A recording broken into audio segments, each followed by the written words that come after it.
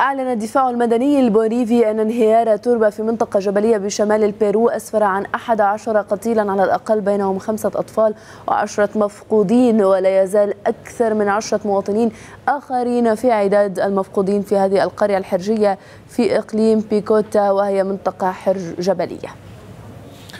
ذكرت محطة التلفزيون الأمريكية اي بي سي أن موظفين في شركة أمنية خاصة تعمل مع الجيش الأمريكي في أفغانستان طردوا من وظيفتهم وأحيلوا إلى القضاء بعد إقامتهم سهرات في كابول تناولوا خلالها الخمر وتعاطوا المخدرات. وأظهر شريط فيديو نشر على الموقع الإلكتروني للمحطة رجالا عراة الصدر وهم يشربون الفودكا كما أظهر آخر وهو ممرض المجموعة وهو مرتخ تحت تأثير أبر المخدرات.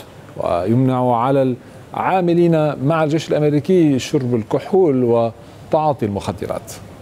في الصين اجتمع محبو القفز الحر في المسابقة العالمية التي يقفز خلالها المتبارون من على ارتفاع 1400 متر. وقد شهدت بعض القفزات مخاطرات نوعية مذهلة تمكن خلالها المشتركون من العمل على تخطي حواجز مختلفة. ويتراوح أعمار المشتركين بين العشرين والستين من العمر. وقد سجلت مشاركة متبارية واحدة في المسابقة.